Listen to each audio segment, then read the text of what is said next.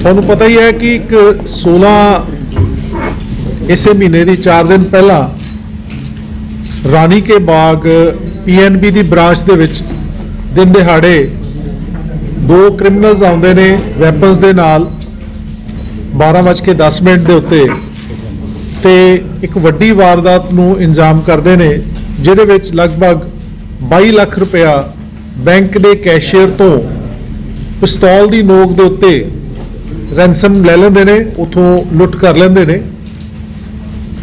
ਜਿਹਦੇ ਵਿੱਚ ਅਸੀਂ ਬੈਂਕ ਮੈਨੇਜਰ ਦੀ ਸਟੇਟਮੈਂਟ ਦੇ ਉੱਤੇ ਉਥੇ ਪਰਚਾ ਦਿੱਤਾ ਔਰ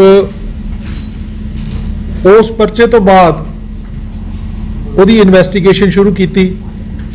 ਸਾਡੇ SP city Prabhjot Singh CIA ਦੀਆਂ ਟੀਮਾਂ ਐਸਐਚਓ ਸਹਿਬਾਨ ਅਸੀਂ ਉਸ ਵੇਲੇ ਫਿਰ ਇਹਦਾ ਪੂਰਾ ਜਿਹੜਾ ਇਨਵੈਸਟੀਗੇਸ਼ਨ ਜਿਹੜੀ ਹੈ ਉਹਨੂੰ ਸਟਾਰਟ ਕੀਤੀ ਔਰ 4 ਦਿਨ ਦੇ ਵਿੱਚ ਵਿੱਚ ਇਹ ਜਿਹੜੀ ਬੈਂਕ ਡਕੈਤੀ ਦਿਨ ਦਿਹਾੜੇ ਕੀਤੀ ਗਈ ਸੀ, ਉਹ ਉਹਦੇ ਵਿੱਚ ਜਿਹੜੇ ਦੋਵੇਂ ਕ੍ਰਿਮੀਨਲ ਦੋਵਾਂ ਨੂੰ ਅਰੈਸਟ ਕਰ ਲਿਆ ਗਿਆ।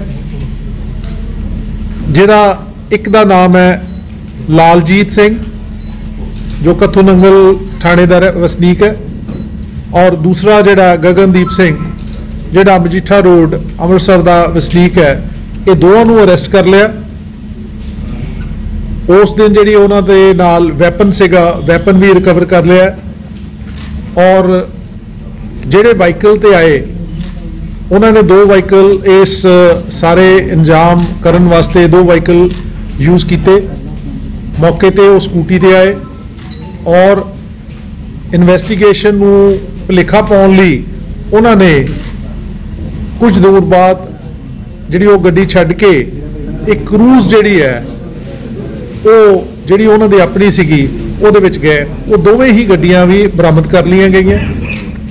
ਸੋ ਉਸ ਦਿਨ ਜਿਹੜੇ ਉਹਨਾਂ ਨੇ ਕੱਪੜੇ ਪਾਏ ਹੋਏ ਸੀਗੇ, ਜੋ ਕੈਪ, ਜੋ ਉਹਨਾਂ ਨੇ ਆਪਣਾ ਮੂੰਹ ਛੁਪਾਉਣ ਲਈ ਜੋ ਵੀ ਰੱਖਿਆ ਹੋਇਆ ਸੀਗਾ, ਉਹ ਕੱਪੜੇ ਵੀ ਰਿਕਵਰ ਕਰ ਲਿਆ।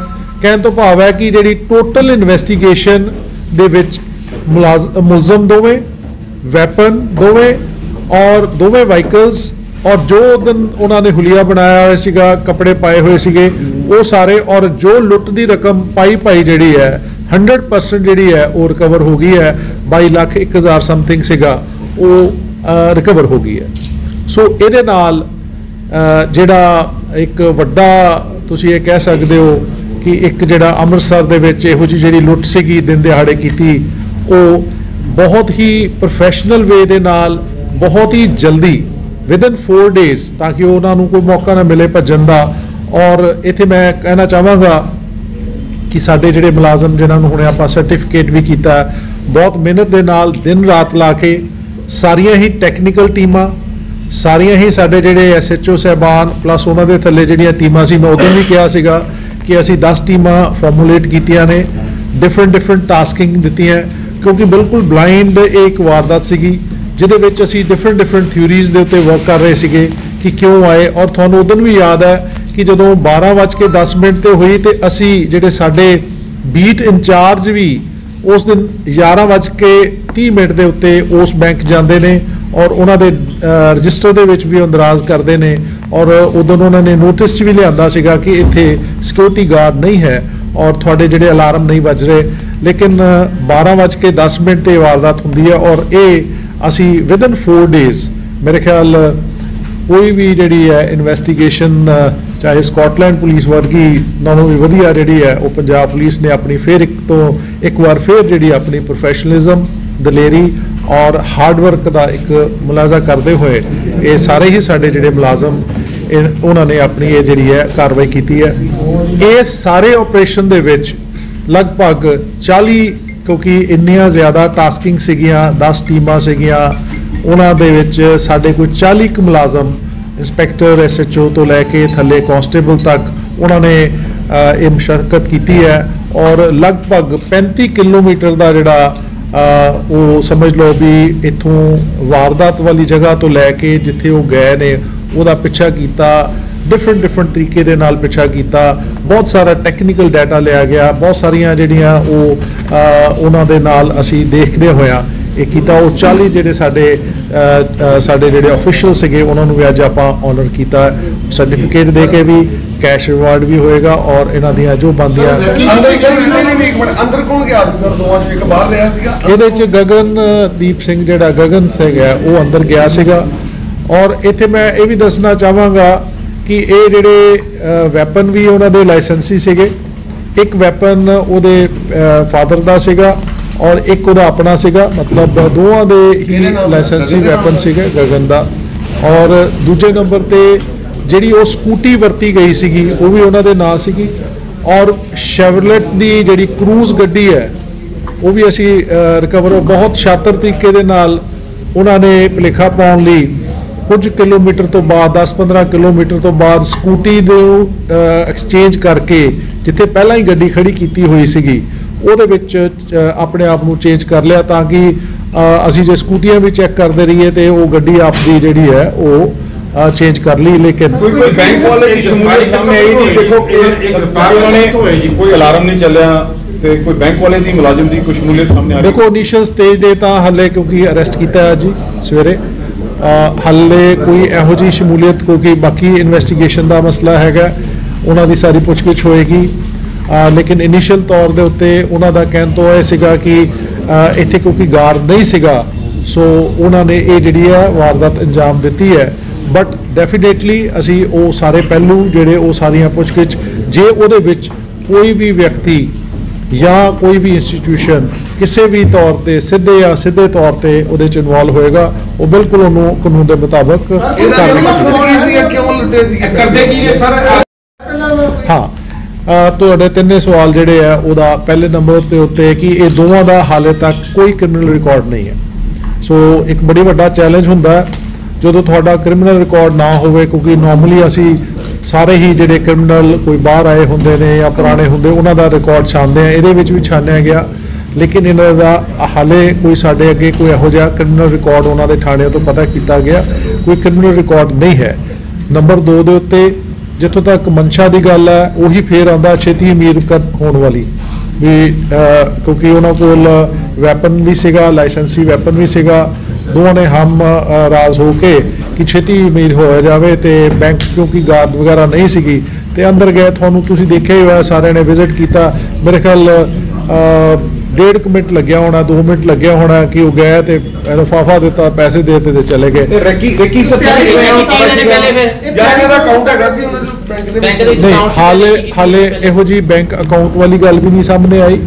ਲੇਕਿਨ ਇਹ ਹੈ ਕਿ ਉਹਨਾਂ ਦਾ ਇੱਥੋਂ ਲੰਘਦੇ ਰਹੇ ਨੇ ਔਰ ਬੈਂਕ ਨੂੰ ਰੈਕੀ ਵੀ ਡੈਫੀਨਿਟਲੀ ਕਰਦੇ ਰਹੇ ਨੇ ਔਰ ਇਹ ਸੀਗਾ ਕਿ ਪੀਐਨਬੀ ਦੇ ਵਿੱਚ ਕਿਉਂਕਿ ਬਾਹਰ ਗਾਰਡ ਨਹੀਂ ਬੈਠਾ ਹੋਇਆ ਇਸ ਕਰਕੇ ਉਹਨਾਂ ਨੇ ਉਹ ਟਾਈਮ ਚੁਣਿਆ ਔਰ ਉਹ ਟਾਈਮ ਵੀ ਜਿਹੜਾ ਚੁਣਿਆ ਜਦੋਂ 12 12:30 ਵਜੇ ਦੇ ਵਿੱਚ ਉਹਨਾਂ ਕੋਲ ਕੈਸ਼ ਜ਼ਿਆਦਾ ਹੁੰਦਾ। ਕੰਮ ਕੀ 10-15 ਮਿੰਟ ਪਹਿਲੇ ਗੱਡੀ ਆਈ ਉੱਥੇ। ਕੰਮ ਕੀ ਕਰਦੇ ਨੇ ਹਾਂ ਜਿਹੜਾ ਲਾਲਜੀਤ ਹੈ ਇਹਦਾ ਤਾਂ ਜ਼ਿਮੀਦਾਰਾਂ ਦਾ ਕੰਮ ਹੈ ਜ਼ਮੀਨ ਵਗੈਰਾ ਕਰਦੇ ਨੇ ਖੇਤੀਬਾੜੀ ਦਾ ਕੰਮ ਹੈ। ਔਰ ਜਿਹੜਾ ਦੂਸਰਾ ਹੈਗਾ ਗਗਨਦੀਪ ਇਹ ਵੈਸੇ ਗ੍ਰੈਜੂਏਟ ਹੈ ਬੀਏ ਪਾਸ ਹੈ ਲੇਕਿਨ ਵਿਲਾ ਟਾਈਪ ਹੈ ਔਰ ਇਹ ਜਿਹੜਾ ਬੇਸਿਕਲੀ ਹੁਣ ਤਾਂ ਜਿਹੜਾ ਤੁਸੀਂ ਲਾ ਲਓ ਵੀ ਇਹ ਕ੍ਰਿਮੀਨਲ ਐਕਟੀਵਿਟੀ ਦੇ ਵਿੱਚ ਐਂਟਰ ਕਰ ਗਏ ਕਿ ਆਪਣਾ ਇੱਕ ਕਿਉਂਕਿ ਦੋਵੇਂ ਹਮਰਾਜ਼ ਹੋ ਗਏ ਹੈ ਵਿਲਰ ਟਾਈਪ ਤੁਸੀਂ ਇਹ ਕਹਿ ਸਕਦੇ ਸਰ। ਇੱਕ ਇੱਕ ਦੇ ਫਾਦਰ ਦਾ ਲਾਇਸੈਂਸੀ ਪਿਸਟਲ ਸੀਗਾ ਦੋ ਦਿਨ ਪਹਿਲੇ ਵੀ ਪੁਲਿਸ ਨੇ ਪਕੜੇ ਸੀਗੇ ਦੋ ਉਹਦੀ ਮਦਰ ਦਾ ਪਿਸਟਲ ਸੀਗਾ ਇਸ ਤਰ੍ਹਾਂ ਹੀ ਲਾਇਸੈਂਸੀ ਕਿਆ ਇਹਨਾਂ ਇਸ ਉਹਨਾਂ ਜਿਨ੍ਹਾਂ ਦੇ ਪਿਸਟਲ ਹੈ ਉਹਨਾਂ ਨੂੰ ਵੀ ਨਾਮਜ਼ਦ ਕੀਤਾ ਜਾਏਗਾ? ਡੈਫੀਨਿਟਲੀ ਦੇਖੋ, ਜਿਹੜਾ ਐਕਟ ਦੇ ਮੁਤਾਬਕ ਜਿਹੜਾ ਹੈਗਾ ਜੇ ਤੁਹਾਡਾ ਪਿਸਟਲ ਦੂਜੇ ਦੇ ਕੋਲ ਹੈਗਾ, ਤੇ ਉਹ ਡੈਫੀਨਿਟਲੀ ਉਹਦੇ ਕਾਨੂੰਨ ਜੋ ਉਹ ਕਸੂਰ ਹੁੰਦਾ, ਉਹ ਡੈਫੀਨਿਟਲੀ ਹੋਏਗਾ। ਔਰ, ਕਿਉਂਕਿ ਇਸੇ ਕਰਕੇ ਆਪਾਂ ਬਹੁਤ ਸਾਰੇ ਵੈਰੀਫਿਕੇਸ਼ਨ ਕੀਤੀਆਂ ਜਿਹੜੇ ਬੰਦੇ ਜਿਨ੍ਹਾਂ ਦੇ ਲਾਇਸੈਂਸ ਨਹੀਂ ਬਹੁਤ ਸਾਰੇ ਕੈਨਸਲ ਵੀ ਹੋਏ ਵੈਰੀਫਿਕੇਸ਼ਨ ਤੋਂ ਬਾਅਦ।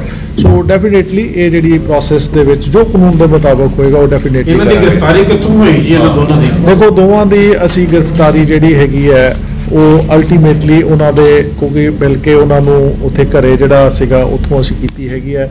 ਤੁਹਾਨੂੰ ਦੱਸਿਆ ਇੱਕ ਇੱਥੋਂ ਨੰਗਲ ਦਾ ਸੀਗਾ ਤੇ ਇੱਕ ਉੱਥੋਂ ਦਾ ਜਿਹੜਾ ਹੈਗਾ ਮਜੀਠਾ ਰੋਡ ਦਾ ਹੈਗਾ ਉੱਥੋਂ ਉਹਨਾਂ ਨੂੰ ਕੀਤੀ ਹੈ। ਉਹਦੇ ਵਿੱਚ ਬਾਕੀ ਗੱਲਾਂ ਕਿੱਥੇ ਰਹੇ ਕਿਵੇਂ ਰਹੇ ਉਹ ਸਾਡੀ ਇਨਵੈਸਟੀਗੇਸ਼ਨ ਦਾ ਪਾਰਟ ਹੈ ਉਹ ਅਸੀਂ- ਆਪਸ ਦੇ ਵਿੱਚ ਸਰ ਇਹਨਾਂ ਦਾ ਕਦੋਂ ਦਾ ਕਨੈਕਸ਼ਨ ਸੀ ਇੱਕ ਉਹ ਜਥੇਬੰਦ ਦਾ ਮਜੀਠੇ ਦਾ। ਨਹੀਂ basically. Basically Majitha road Amritsar ਦਾ।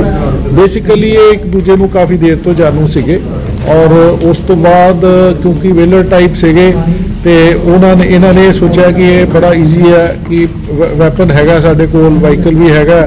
ਤੇ ਡੇ ਟਾਈਮ ਤੇ ਗਏ ਤੇ ਜਿੱਥੇ ਕੋਈ ਗਾਰਡ ਨਾ ਹੋਵੇ ਉੱਥੇ ਜਾ ਕੇ ਉਹ ਬੈਂਕ ਸਰ ਅੰਮ੍ਰਿਤਸਰ ਦੇ ਵਿੱਚ ਕਈ ਅਜਿਹੇ ਬੈਂਕ ਨੇ ਜਿਨ੍ਹਾਂ ਤੱਕ ਹਾਲੇ ਤੱਕ ਵੀ ਕੋਈ ਗਾਰਡ ਨਹੀਂ। ਬੈਂਕ ਦੇ ਵਿੱਚ ਵੀ ਉਹਨਾਂ ਦੇ ਬਾਹਰ ਏਟੀਐਮ ਨੇ ਉਹਨਾਂ ਤੱਕ ਵੀ ਕੋਈ ਗਾਰਡ ਨਹੀਂ ਰਾਤ ਵੀ ਖੁੱਲੇ ਰਹਿੰਦੇ ਨੇ। ਜੇ ਅਜਿਹਾ ਹੀ ਮਤਲਬ ਜਿਵੇਂ ਹੁਣ ਹੋਇਆ ਬਾਕੀ ਬੈਂਕਾਂ ਨਾਲ ਵੀ ਹੋ ਸਕਦਾ। ਦੇਖੋ ਅਸੀਂ ਤੁਹਾਨੂੰ ਪਤਾ ਹੀ ਹੈ ਕਿ ਹਮੇਸ਼ਾ ਇਸ ਗੱਲ ਤੇ ਚਰਚਾ ਕਰਦੇ ਰਹੀਦਾ ਹੈ। ਔਰ ਤੁਸੀਂ ਦੇਖਿਆ ਸਾਰੇ ਪੱਤਰਕਾਰਾਂ ਨੇ ਵੀ ਕਿ ਜਦੋਂ ਇਹ ਵਾਰਦਾਤ ਹੋਈ ਹੈ ਔਰ ਉਹ ਜਿਹੜਾ ਰਜਿਸਟਰ ਦੇ ਵਿੱਚ ਵੀ ਸਾਡੇ ਜਿਹੜੇ EMPLOYEES ਨੇ, ਸਾਡੇ ਬੀਟ ਉਹਨਾਂ ਦੀ ਅਸੀਂ ਸਾਡੇ ਆਫੀਸਰਸ ਨੇ ਅਸੀਂ ਉਹਨਾਂ ਦੀ ਇੱਕ ਡਿਊਟੀ ਲਾਈ ਹੈ ਕਿ ਤੁਸੀਂ ਇੰਸਟੀਟਿਊਸ਼ਨਸ ਜਾਓ ਡਿਫਰੈਂਟ ਡਿਫਰੈਂਟ ਟਾਈਮਿੰਗਸ ਤੇ ਜਾਓ, ਉਹਨਾਂ ਨੂੰ ਆਗਾਜ਼ ਵੀ ਕਰੋ। ਔਰ ਜੇ ਹਾਫ ਐਨ ਆਵਰ ਦਾ ਫ਼ਰਕ ਪਿਆ, ਜੇ ਕਿਤੇ ਹਾਫ ਐਨ ਆਵਰ ਦਾ ਫ਼ਰਕ ਹੁੰਦਾ, ਤੇ ਸ਼ਾਇਦ ਉੱਥੇ ਹੀ ਮੌਕੇ ਤੇ ਮੁਕਾਬਲਾ ਵੀ ਹੋ ਸਕਦਾ ਸੀਗਾ। ਔਰ ਲੇਕਿਨ ਅਸੀਂ ਆਪਣੇ ਤੌਰ ਦੇ ਉੱਤੇ ਬੜਾ ਚੌਕਸ ਰੱਖਣ ਦੀ ਕੋਸ਼ਿਸ਼ ਕਰਦੇ ਆ ਸਾਡੇ ਜਿਹੜੇ ਬੀਟ ਇੰਚਾਰਜ ਆ, ਉਹਨਾਂ ਨੂੰ ਪੂਰੀ ਹਦਾਇਤ ਹੈ ਕਿ ਇਹਨਾਂ ਇੰਸਟੀਟਿਊਸ਼ਨਸ ਨੂੰ ਜਾ ਕੇ ਚੈੱਕ ਵੀ ਕਰਨਾ। ਬਹੁਤ ਸਾਰੇ ਇੰਸਟੀਟਿਊਸ਼ਨਸ ਨੇ ਆਪਣੇ ਗਾਰਡ ਵੀ ਰੱਖੇ ਆ, ਜਿਹੜੇ ਬੈਂਕਸ ਵੀ ਨੇ ਜਾਂ ਹੋਰ ਫਾਈਨੈਂਸ਼ੀਅਲ ਇੰਸਟੀਟਿਊਸ਼ਨਸ ਵੀ ਨੇ, ਅਸੀਂ ਵੀ ਉਹਨਾਂ ਦਾ ਧਿਆਨ ਰੱਖਦੇ ਹਾਂ ਔਰ ਬਾਕੀਆਂ ਨੂੰ ਵੀ ਅਸੀਂ ਹਦਾਇਤ ਵੀ ਕਰ ਰਹੇ ਹਾਂ, ਉਹਨਾਂ ਨਾਲ ਕੋਆਰਡੀਨੇਟ ਵੀ ਕਰ ਰਹੇ ਹਾਂ, ਉਹਨਾਂ ਨਾਲ ਮੀਟਿੰਗਸ ਵੀ ਕੀਤੀਆਂ ਨੇ ਕਿ ਤੁਸੀਂ ਆਪਣਾ ਜਿਹੜਾ ਹੈਗਾ, ਇਹਨੂੰ ਸੇਫਟੀ ਵੱਲੋਂ ਉਹਨਾਂ ਜਿਹੜੀਆਂ ਹੈਗੀਆਂ ਬੈਂਕਸ ਜਾਂ ਇੰਸਟੀਟਿਊਸ਼ਨਸ ਨੂੰ ਸੇਫ ਰੱਖਿਆ ਜਾਵੇ। ਲੇਕਿਨ ਅੱਜ ਦੀ ਡੇਟ ਦੇ ਉੱਤੇ ਇਹ ਇੱਕ ਐਗਜ਼ਾਮਪਲ ਹੈ ਕਿ ਇੱਕ ਤਿੰਨਾਂ ਦਿਨਾਂ ਦੇ ਵਿੱਚ ਵਿੱਚ ਇੱਕ ਜਿਹੜਾ ਬਿਲਕੁਲ ਬਲਾਈਂਡ ਜਿਹੜੀ ਇਹ ਵਾਰਦਾਤ, ਇੰਨੀ ਵੱਡੀ ਵਾਰਦਾਤ ਸੀਗੀ, ਉਹਨੂੰ ਉਹਨੂੰ ਇੱਕ ਸੋਲਵ ਹੋਇਆ ਡਿਟੈਕਟ ਹੋਇਆ, ਮੁਲਜ਼ਮ ਵੀ ਫੜੇ ਗਏ ਔਰ ਪੂਰੀ ਪੂਰੀ ਜਿਹੜੀ ਉਹ ਹੋ ਗਈ ਹੈ ਰਿਕਵਰ ਵੀ ਹੋ ਗਿਆ ਵੈਪਨ ਵੀ ਔਰ ਇੱਕ ਕਾਫੀ ਜਿਹੜੀ ਹੈ ਫੋਰਸ ਵਾਸਤੇ ਵੀ ਮੋਟੀਵੇਸ਼ਨਲ ਵਾਲੀ ਗੱਲ ਹੈਗੀ ਹੈ ਔਰ ਪਬਲਿਕ ਵਾਸਤੇ ਵੀ ਹੈ। ਔਰ ਮੈਨੂੰ ਇਹ ਲੱਗਦਾ ਹੈ ਕਿ ਆਉਣ ਵਾਲੇ ਸਮੇਂ ਦੇ ਵਿੱਚ ਜੇ ਪੁਲਿਸ ਦੀ ਜਿਵੇਂ ਆਪਾਂ ਅੱਗੇ ਵੀ ਗੱਲ ਕਰਦੇ ਹਾਂ, ਬਿਲਕੁਲ ਮੈਂਟਲੀ ਵੀ ਅਲਰਟ ਹੈ ਫਿਜ਼ੀਕਲੀ ਵੀ ਚੌਕਸ ਹੈ ਔਰ ਸਾਡਾ ਸਾਡਾ ਪੂਰਾ ਧਿਆਨ ਹੈ। ਜੇ ਪਬਲਿਕ ਦੀ ਪੂਰੀ ਸਪੋਰਟ ਹੋਏਗੀ ਔਰ ਪਬਲਿਕ ਜਿਵੇਂ ਸਾਨੂੰ ਬਹੁਤ ਸਪੋਰਟ ਕਰ ਰਹੀ ਹੈ ਇਨਫੋਰਮੇਸ਼ਨ ਵੀ ਕਰ ਰਹੀ ਹੈ, ਤੇ ਮੇਰੇ ਖਿਆਲ ਦੇ ਵਿੱਚ ਜਿਹੜਾ ਹੈ ਕ੍ਰਿਮੀਨਲ ਐਕਟੀਵਿਟੀਜ਼ ਦੇ ਪੂਰੀ ਪੂਰੀ ਨੱਥ ਪਾਈ ਜਾ ਸਕਦੀ ਹੈ। Thank you sir very much sir ਇੱਕ ਅ, 19 ਦਸੰਬਰ ਨੂੰ ਕੱਥੂ ਨੰਗਲ ਇੱਕ ਬੈਂਕ ਡਕੈਤੀ ਹੋਈ ਸੀ। ਸੇਮ ਮੋਡਸ ਆਪਰੇਂਡੀ ਸੀਗਾ ਸੇਮ ਦੋ ਬੰਦੇ ਸੀਗੇ ਇਸ ਤਰ੍ਹਾਂ ਲੁੱਟ ਕੇ ਲੈ ਗਏ ਸੀਗੇ ਸਰ ਉਹ ਵੀ ਬੰਦਾ ਅਸੀਂ- ਵੀ ਕੱਥੂ ਨੰਗਲ ਦਾ ਹੈਗਾ ਸਰ ਕੋਈ ਲਿੰਕ ਦੇਖੋ ਉਹ ਚੀਜ਼ਾਂ ਨੂੰ ਹੁਣ ਆਪਾਂ ਇਨਵੈਸਟੀਗੇਟ ਕਰਾਂਗੇ ਬਾਕੀ ਪਾਰਟ ਵੀ। ਠੀਕ ਹੈ? ਉਹਦੇ ਵਿੱਚ ਕੀ ਹੋਰ ਇਹਨਾਂ ਦੀਆਂ ਕੋਈ ਐਕਟੀਵਿਟੀਜ਼ ਰਹੀਆਂ ਨੇ ਕਿਵੇਂ ਰਹੀਆਂ ਲੇਕਿਨ ਹਾਲੇ ਉਹਨਾਂ ਦੇ ਕੋਈ ਨੋਮੀਨੇਟ ਨਹੀਂ। ਉਹ ਤਾਂ ਸਾਰੀਆਂ ਕੰਪੇਅਰ ਹੋ ਜਾਏਗਾ ਉਹ ਸਾਰਾ ਸਿਸਟਮ ਬਣ ਜਾਏਗਾ। Any- ਸ਼ਾਹ ਜੀ ਕੱਢੇ ਹੋ? ਜੀ ਇਸ ਬੈਂਕ ਨਾਲ ਰਿਲੇਟਡ ਕਰ ਦੀ ਸਵਾਲ ਹੈ ਕਿ ਇਹ ਸਾਰੇ ਬੈਂਕ ਵਾਲਿਆਂ ਨੂੰ ਤੁਸੀਂ ਵੀ ਹੁਣ ਅਗਲੀ ਗੱਲ sir sir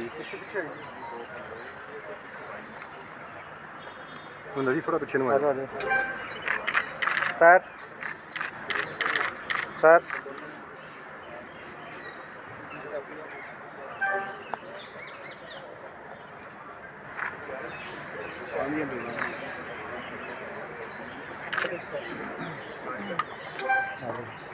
Mein Mann fährt.